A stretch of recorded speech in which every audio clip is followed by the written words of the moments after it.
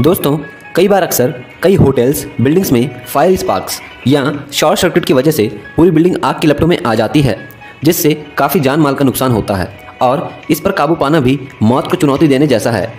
लेकिन अब Delhi fire service ने सात करोड़ की लागत से बने दो फायर रोबोट को मैदान में उतारा है। यह रोबोट्स बड़ी आग को चंद समय में ही काबू कर लेते हैं।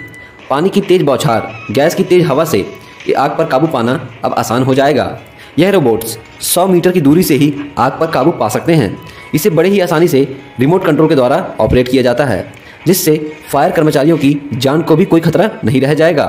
आपका इस रोबोट के बारे में क्या कहना है, हमें कमेंट बॉक्स में ज़रूर बताइएगा।